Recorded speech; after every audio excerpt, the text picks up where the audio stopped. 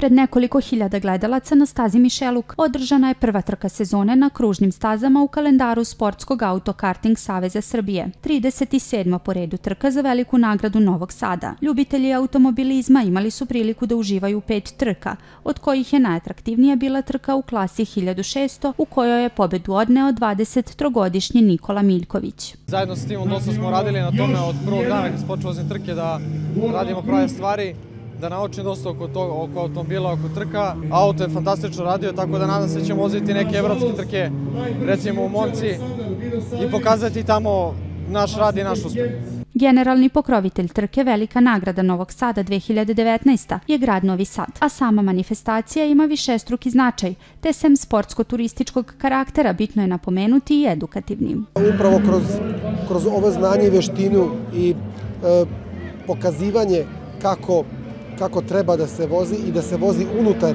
takmičarske staze, da se nikako e, ne vozi ovako van staze, jer osnovna, osnovna deviza e, ove trke i ovog sporta jeste budi siguran i naravno ne brže od života.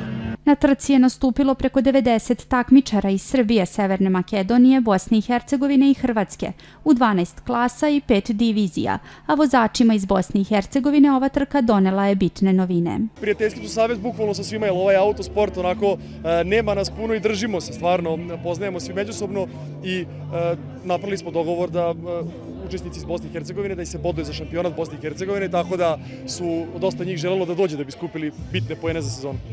Deo prihoda od prodatih karata kao i prethodnih godina biće uplaćen u humanitarne svrhe.